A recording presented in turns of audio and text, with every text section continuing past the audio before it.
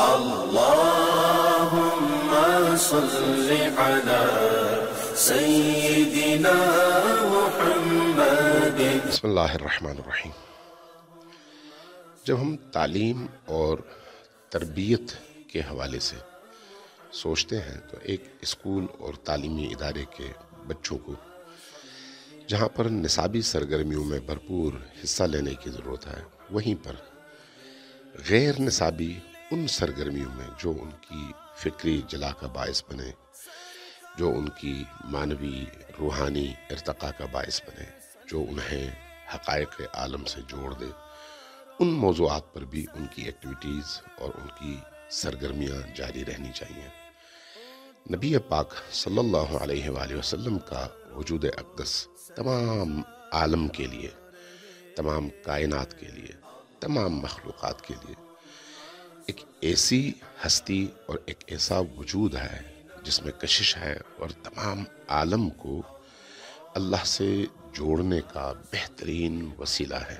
نبی کریم کا عشق، نبی کریم کی محبت، نبی کریم کا ذکر انسان کی روح کو نورانی کرنے کا ذریعہ ہے۔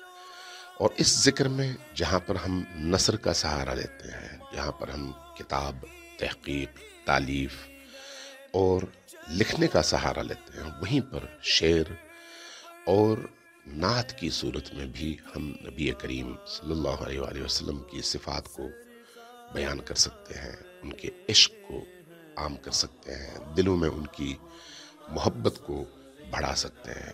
اس حوالے سے نعتیہ مقابلوں کا اجرا بہت اچھا اور تعمیری عمل ہے اور تمام بچوں کو اس حوالے سے ضرور اس میں پارٹیسپیٹ کرنا چاہیے۔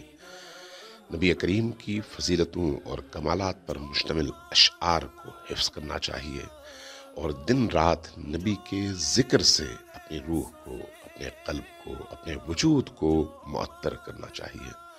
تو یہ جو مقابلہ ہو رہا ہے، نعتیہ مقابلہ، تو یہ مقابلہ اس حوالے سے ایک بہترین موقع ہے کہ بچے اپنے آپ کو اس کے لیے بھرپور تیار کر سکیں اور نبی کی محبت اور عشق کو اپنے سینوں میں جگہ دے سکیں۔ والسلام علیکم ورحمۃ اللہ وبرکاتہ۔